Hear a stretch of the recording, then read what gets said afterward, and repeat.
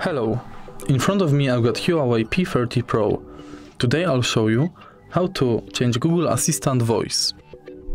Firstly, open Google app, tap more and go to settings. Tap on Google Assistant, scroll down a bit and tap on Assistant Voice. Select voice from available. Here are the voices you can pick for your Google Assistant. If you like this voice and want me to keep using it, just stop here.